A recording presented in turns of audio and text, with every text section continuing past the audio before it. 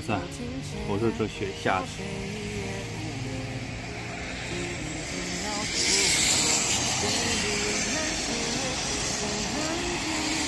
前两天都已经逼近二十度了，今天下起了雪了。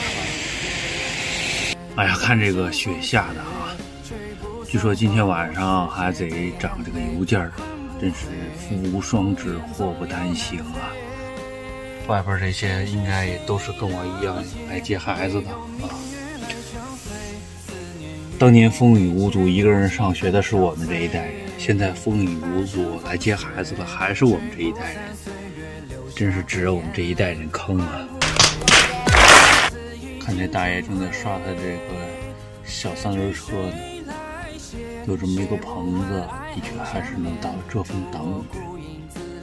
看远处这几个打伞的大哥，啊，估计还有大姐，啊那儿呢。